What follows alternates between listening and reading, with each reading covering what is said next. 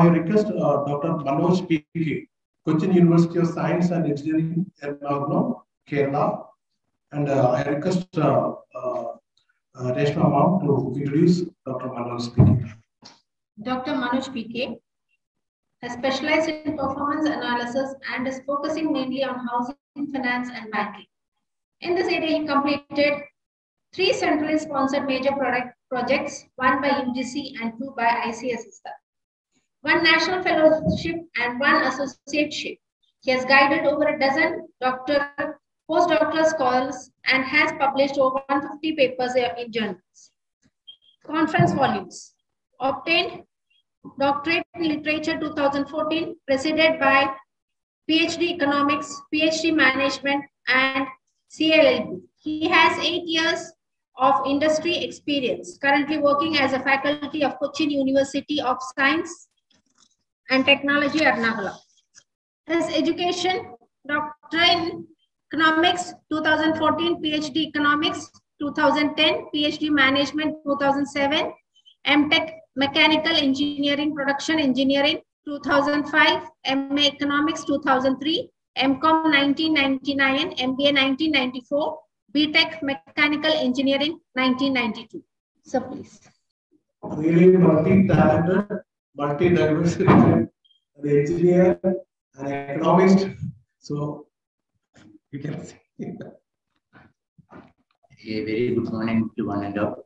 Respected Prakash sir, professors on the dais, Jasir, Jasir sir, Shibu sir, Girish sir, Anthony sir, other professors, uh, then dignitaries, participants.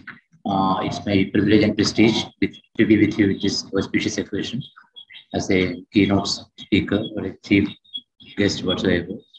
And uh, only very recently,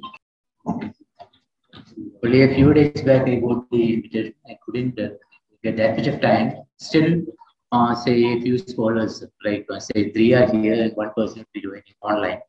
Totally four scholars are here to present their papers. And uh, I'll be focusing uh, on uh, this digital India.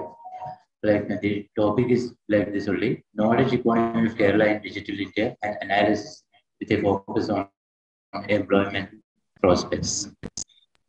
Like as you know today, uh, we are in the digital era. Our uh, as a governmental policy, we have this so-called digital India at the national level, and uh, even at the state level, uh, we have a similar one. This is called knowledge knowledge economy, okay, knowledge economy of Kerala or digital Kerala, and the basic theme behind uh, this one digital India is digital digitally empowering people, and uh, they actually, uh, as part of that, uh, say lots of uh, e-governance platforms at the national and uh, state level we have, and the government is providing all the services digitally through these e-government, uh, e-governance platforms, and uh, say the digital infrastructure the government is going to enhance through this digital India, I mean scheme, and the state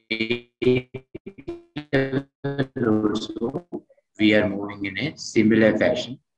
Um, accordingly, the government wants to empower the masses, uh, including the marginalized and all those people. Whatever the so-called marginalized people, uh, then uh, the women, etc., etc. Then today we are uh, in the era of 3Ds. 3Ds means uh, uh, like uh, digitalization. Digitalization is nothing but digital transformation. Then, of course, this one disruption is the disruption in the sense like say you are changing or you are innovating or you are transforming according adjust yourself to the changes in the technology and do that. It is also called uh, innovation or disruptive innovation. And of course, we have the third thing, the so-called digital science or data science. Therefore, these, these three Ds will be transforming the business industry and uh, people like us, all of us. Then uh,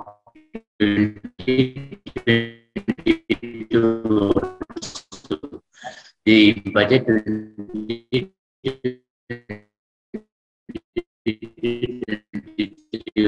also the government India has given lots of thrust for digital India, and the government is going to foster technology, digital uh, economy, and fintech. Fintech means financial technologies in order to